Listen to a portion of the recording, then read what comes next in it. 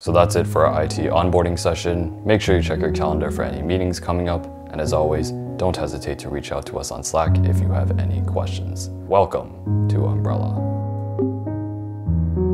Daily stand up. And then Nicole and I went to see monkeys skiing down the Niagara Falls. It was crazy. Awesome. Sounds like you had a fun weekend then. Well, happy Monday, everyone. Uh, today we have Nick joining Wait, us. is he in bed? For the next four months. So, welcome, Nick, and we're excited to have you on the team. This is our daily stand up meeting where we just talk about the progress of the stuff that we're working on. And some of this stuff might not make sense to you at first, but I'm sure you'll ramp up in no time.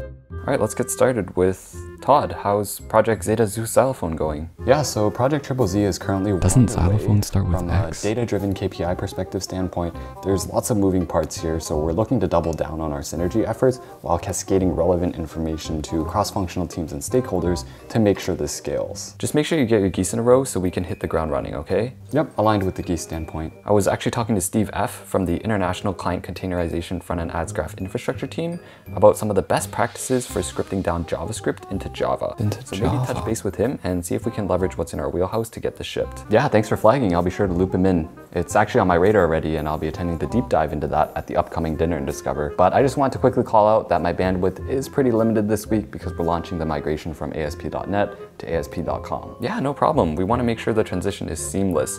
So let's time box that and let it marinate so we can circle back on it later. Sound good? Yep, aligned.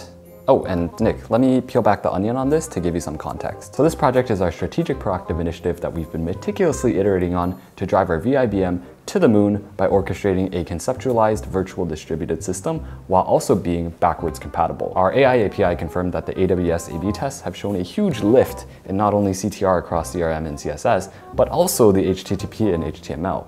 So overall, it really is going to revolutionize the abstraction of the paradigm shift.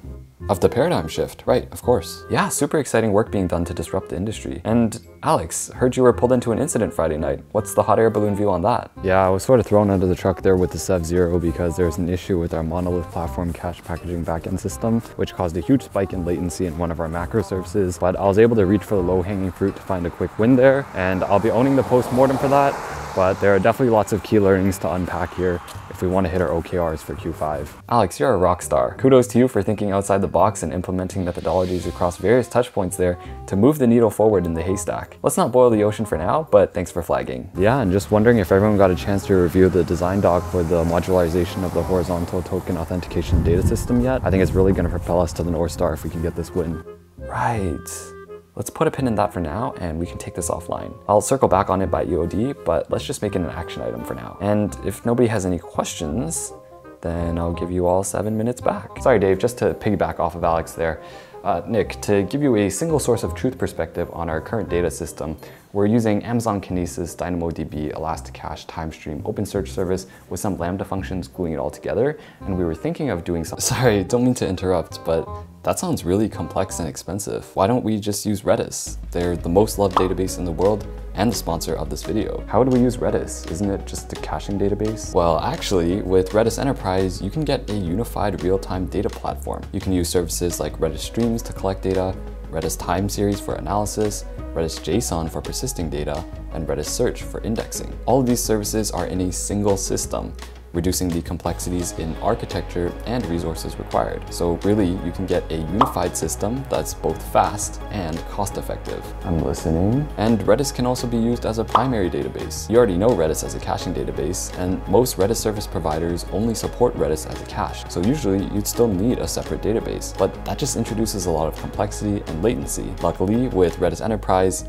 we can use Redis as a caching and primary database in a single system that's blazing fast. Wait, really? Yeah, and best part is you can get $200 in credits for free by signing up for Redis Enterprise using the link in the description. Well, there goes my design doc. See? I knew you'd ramp up quickly. Welcome to the team, Nick, and happy Monday, everyone. Who's a senior engineer now? Nick! Yes, mother? There's an issue with our platform packaging. Gosh, issue with our platform packaging packaging. Platform can issue with our platform packaging pack.